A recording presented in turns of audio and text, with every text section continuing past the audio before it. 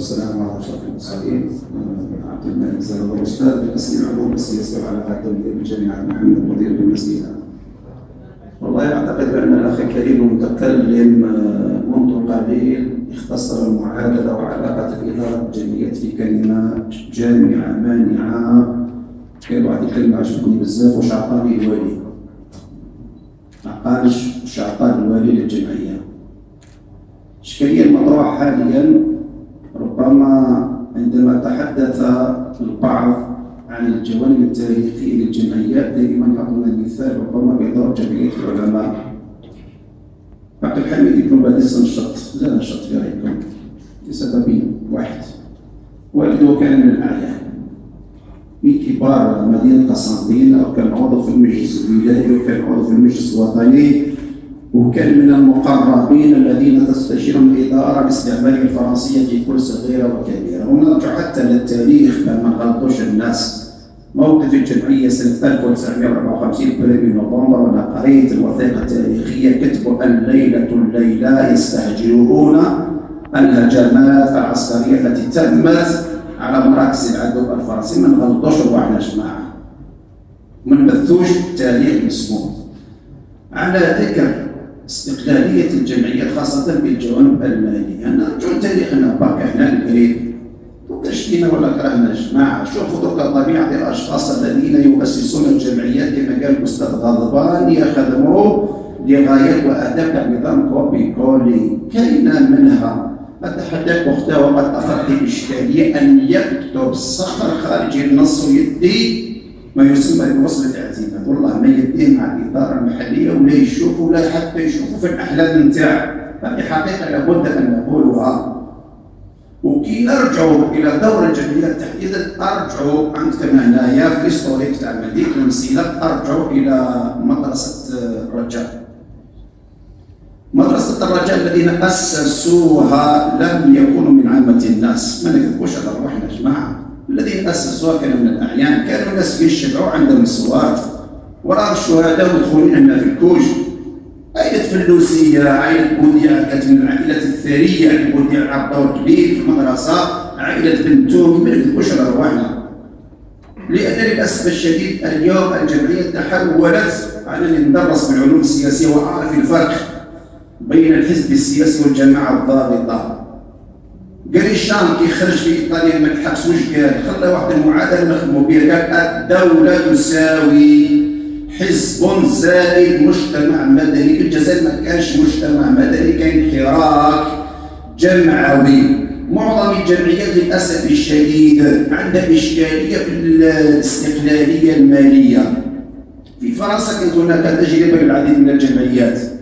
استغلوا المحلات التجارية كروها بمعنى صار مصدر تمويل مستقل للجمعية عن الإدارة المحلية وبالتالي لا تقع الجمعية تحت ضغط الإدارة المحلية الجمعيات نقولوها بالمليان بال... كما يقولوا بالفم المليان كاينين رؤساء جمعية باركوا العمل تاعهم الله ربي يبارك ويخدموا في الطريق السليم وعندهم نية صادقة كما قال الأخ تراوي وذكرنا بحديث الرسول صلى الله عليه وسلم إنما الأعمال بالنيات وإنما لكل امرئ من نوى.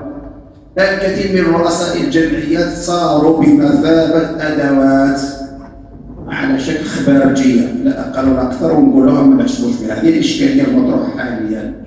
بمعنى الحاشية والراشية اللي تصل داخل الأحياء أو داخل المجتمع لابد أن تصل إلى الإدارة بشكل أو بآخر. ما هو المقابل؟ دعم مالي. سواء من البلدية أو من الولاية أو ربما من سلطات أعلى بكثير. إذا إحنا ما جيناش نطرحوا فقط المشكلة ولكن أعتقد بأن الحلول موجودة. ما هي الحلول؟ نتمناو حنا من العوائل المترفهه اللي عندها قدرة مالية هي التي ربما تكتسب ميدان العمل الجمعوي. أنا نشوفوا عائلات بس من هنا ولكن لا أبنائهم ولا هم. التجربه تاع مدرسه الرجاء موجودة في تاريخ مدينة المسيله تمنوا حنا يدخلوا ما يخلوهاش لكل من هب ودب لأن للأسف الشديد كما لاحظوا آه كاينة نقطة أخرى مهمة جدا يعني حبينا حتى نهضروا عليها خاصة في العمل الجمعوي.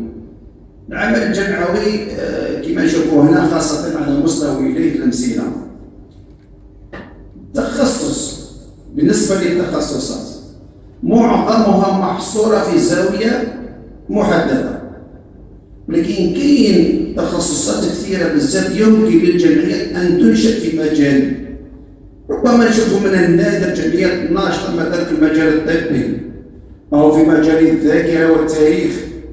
يعني وعلى جد الذاكرة والتاريخ ربما سأسعى أنا ونخبة من أساتذة الجامعة إلى تأسيس جمعية باسم الشهيد محمد العربي بن مهيدي للتراث وللثقافة وللذاكرة سألوني جماعة قالوا لي لماذا تريد أن تقزم محمد عربي بن مهيدي في جمعية صغيرة جدا؟ محمد عربي بن مهيدي شتينا ولا كرهنا بلنا يا جماعة الخير. للوثائق التاريخية وبحثت منذ سنة 1994 وعثرت على عشرات الوثائق بأن هذا الرجل الفاضل الطيب الشهيد الذي قال فيه بيجار وكانت لي ثلة من هذا الرجل فتحت العالم. محمد عربي بن مهيدي نحب نعلاه كي نخلقوا رموز تاريخية لهذه المنطقة بالإمكان أن تشعر أنت بالاحترام وبالتالي تكون لك فاعلية خاصة بالعمل الجمعوي في أي مجال آخر. بودي أن أتقدم بالشكر الجزيل إلى الدكتور غضبان رئيس الجمعية العلمية الفكر للصحة والبيئة والتنمية على هذا اليوم التكويني. كما نود أن نتوجه برسالة قصيرة جدا إلى رؤساء الجمعيات. صدق المصلحة العامة على المصلحة الخاصة. كي تجي المصلحة العامة المصلحة الخاصة لها تحصيل حاصل راها تجي وحدها. ويكفي. نحن نعلم جيدا بأن العلاقة بين الجمعية والإدارة كالعلاقة بين الأرض والشمس. الأرض إذا ابتعدت عن الشمس تجمدت. وإذا قربت من الشمس احترقت. ماذا بكم ما تقربوا من الإدارة؟ ما دفعتم الإدارة؟ لأنه في نهاية المطاف الدولة مكونة من نظام وأشياء أخرى. والسلام عليكم ورحمة الله تعالى وبركاته.